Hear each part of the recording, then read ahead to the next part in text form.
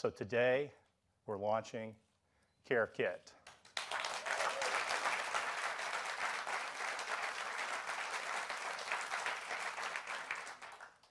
CareKit is a framework to build apps that empower people to take a more active role in their care. And the very first CareKit app being released today is for Parkinson's. And it surfaces some of that valuable information we discussed so people can start understanding better what affects their health.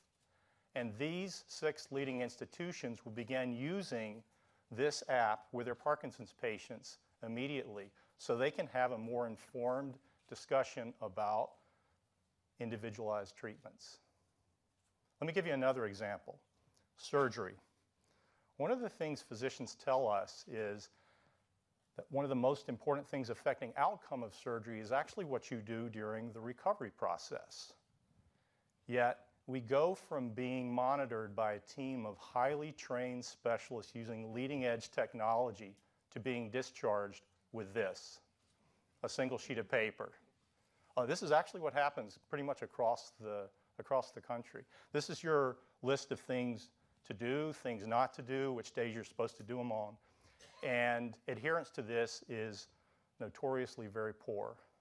So, using the care kit modules, we've been working with Texas Medical Center, and they've created an app for the phone that guides you through this critical process in a completely different way. It's got a care card, which is your list of things to do every day in checklist form, and as you fill them out, the little heart fills up. It's really nice.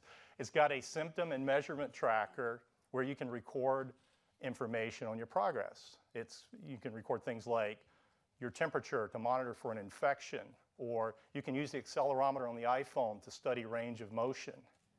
And then you can share this information with your loved ones who can help support you through this recovery process.